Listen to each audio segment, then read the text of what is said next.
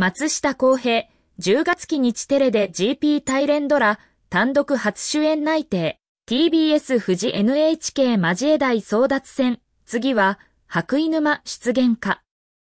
7月4日、俳優で歌手の松下洸平、37が初登場1快挙を達成した。これは、松下が3月14日に行ったライブの様子を収録した、公平松下ライブツアー 2024R&Me DB ブルレイが、オリコン週間ミュージック DVD-BD ランキング7月8日付で1位を獲得したもの。R&Me は、松下さんが1月から3月にかけて12会場14公演で行ったツアーライブです。松下さんは4月から始まった音楽番組 With Music 日本テレビ系のアーティストナビゲーターもしているし、俳優以外も好調ですよね。芸能プロ関係者、歌手や MC 業でも輝きを見せる松下だが、俳優としても変わらず絶好調。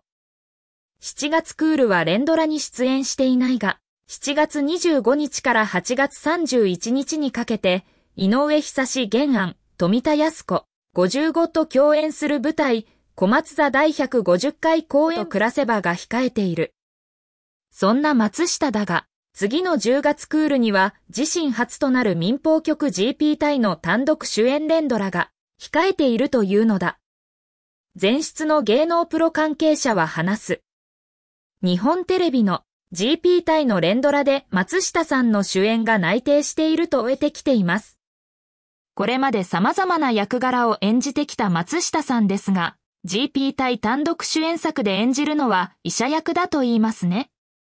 松下といえば、戸田恵梨香35主演の NHK 連続テレビ小説、スカーレット19年後期で演じる主人公の夫、戸和田八郎を演じて大ブレイク。強い妻に押されながらも繊細で優しさをにじませ、支え続ける役で八郎沼というワードを生み出し、以降、松下がドラマに出演するたびに沼落ちする視聴者が続出するようになった。松岡真優30主演の最高の教師1年後、私は生徒にされた。日本テレビ系23年7月期では、夫球場連として、主人公を支えた。同作はコア視聴率、テレビ界が今、最重要視している13から49歳の視聴率好調で、最終回も3.6%、ビデオリサーチ調べ関東地区と数字面でも評価された。23年10月期の一番好きな花フジテレビ系には、食べみかこ35、今田美代27、神尾風樹25と桑主演で出演。温厚で優しすぎるせいで、誰にとってもいい人になってしまい、生きづらさに悩むサラリーマン春樹椿を演じた。視聴率はそれほどでもなかったが作品の人気は高く、椿沼というワードも生まれた。全クール、2024年4月期に放送された川口春奈29主演のキューボーダー TBS 系では、記憶喪失の青年光太郎を松下は演じた。ギターで弾き語りをする姿や、記憶を喪失前のかっこいいビジネスマン姿とのギャップなど、こちらも見どころのいいキャラクターだった。現在放送中の吉高由里子、35主演の NHK 大河ドラマ、光る君へには、宋の見習い医師襲名、上民役で第21回、5月21日から登場。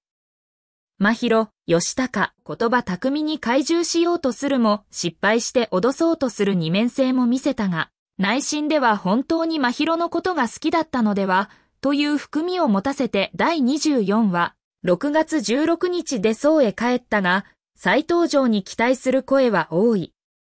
その他にも近年の松下、吉高主演の最愛 TBS 系21年10月期土屋太鳳29主演のやんごとなき一族フジテレビ系22年4月期山崎健人29主演のアトムのわらべ TBS 系22年10月期天海祐希56主演の合理的にありえない探偵上水流良子の解明フジテレビ系23年4月期と、主に TBS とフジテレビを中心に作品に出演し続けてきた。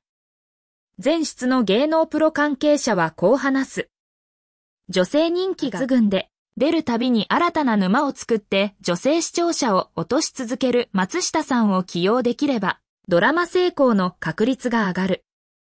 最愛や最高の教師は視聴率も高く大変話題にもなりましたからね。